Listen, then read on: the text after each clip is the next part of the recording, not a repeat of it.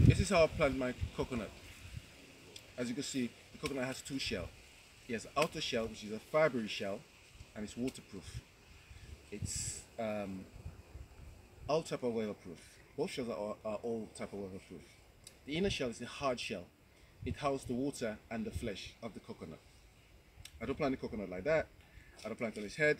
I plant it sideways. So the roots comes down and the shoot, the young coconut shoot goes up. I plant it, usually plant it in, you can plant it all the year round, you know, because it has water in there. And as I said, the shell, all the shell, the whole coconut acts as uh, compost or manure to feed the young shoots. But it's best to plant it three days before the full moon and three days after the full moon. Or you could use a calendar where you plant stuff and then plant stuff like uh, as the ground. Coconuts above because the so as you can see, I have a pretty deep dug hole here, shallow dug hole. So I put the coconut on the side here and I put it down over it. As you can see, you're probably wondering why how comes there's a lot of coconut growing on, on the beach.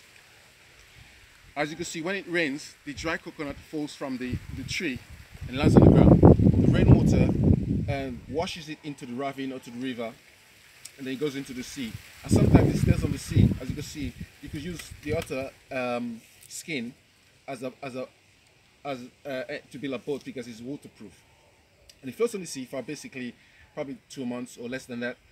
And whatever goes into the sea has to come out. So the waves push it onto the beach. And usually coconuts that grow in tropical climate or subtropical climate, uh, either islands or countries.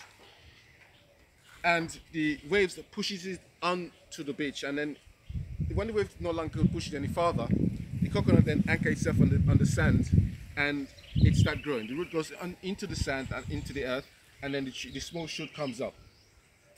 And it might take about uh, five years to start bearing or 10 years according to the type of the coconut.